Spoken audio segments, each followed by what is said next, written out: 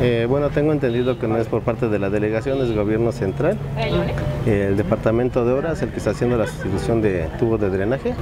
Eh, más que nada es la mala información y la desinformación que, dan las personas a, la, gente, ¿no?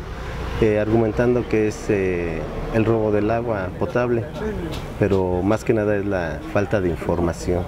Para aquellos que a lo mejor tienen duda y demostrar para aquellos que dicen que es agua potable. Nosotros sí podemos demostrar que es drenaje. Yo espero que los que dicen lo contrario demuestren que es agua potable. No hay prueba, no tenemos duda.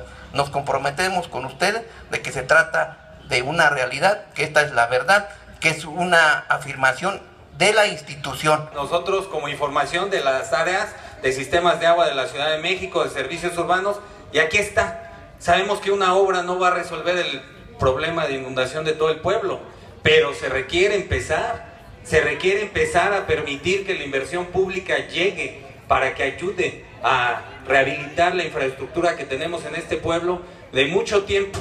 Entonces sí nos interesa de sobremanera empezar en ese tema que las obras se permitan. De lo poco que yo tengo de conocimiento, sí es importante que se siga la obra ya que desgraciadamente también es un pueblo que está hundido, ¿sí? entre San Gregorio y Nativitas, y lógicamente a veces las aguas se quedan, se estancan más acá en este pueblo que en Nativitas o en San Gregorio. ¿sí?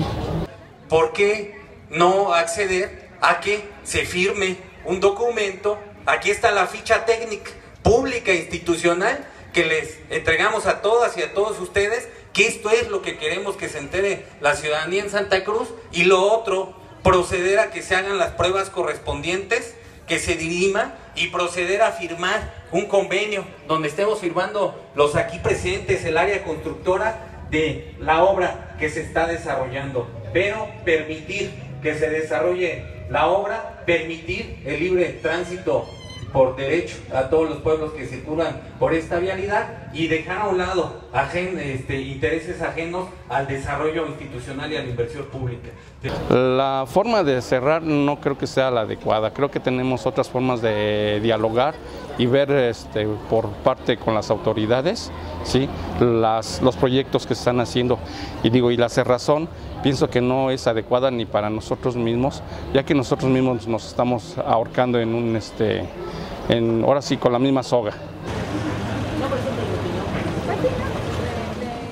Pero así de esa manera como ellos lo hacen, yo no estoy de acuerdo, definitivamente no.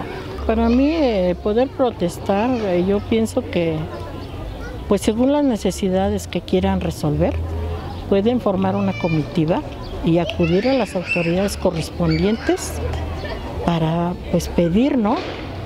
Y como dicen que en el pedir está el dar, pues si van y piden bien las cosas, pues a lo mejor se las conceden. Se dijo antes de que este proyecto llegara al ejercicio de gobierno y hoy que estamos en el ejercicio de gobierno se ratifica de manera muy clara, precisa, contundente de parte de nuestro jefe delegacional y de los integrantes de este proyecto. Por eso hay una batalla jurídica en contra de los centros comerciales y todas, y ustedes lo deben de saber, están clausurados. Si alguien se ha pronunciado en contra de estos consorcios, eh, que tienen permisos de áreas de gobierno central es el gobierno delegacional. Si alguien está en contra de que se desperdicie o se llevaran el agua, somos nosotros como proyecto como vecinos, como servidores públicos, como ciudadanos.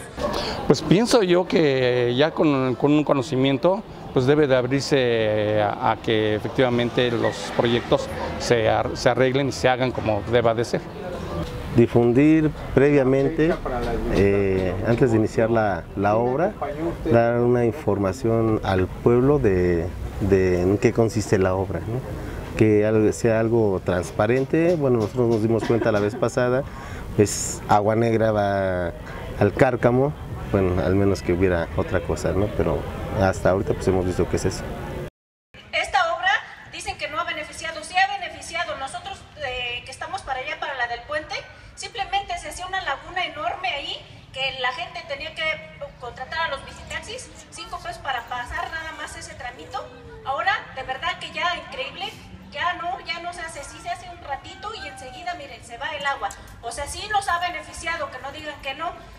este, y eso que dijo la señora de, de, pasar un tubo para allá, no sé qué, se, se, quiso hacer también, pero toda la gente de aquel lado se opuso. Entonces aquí nada, nada les da gusto a la gente, o sea, no, no dejan.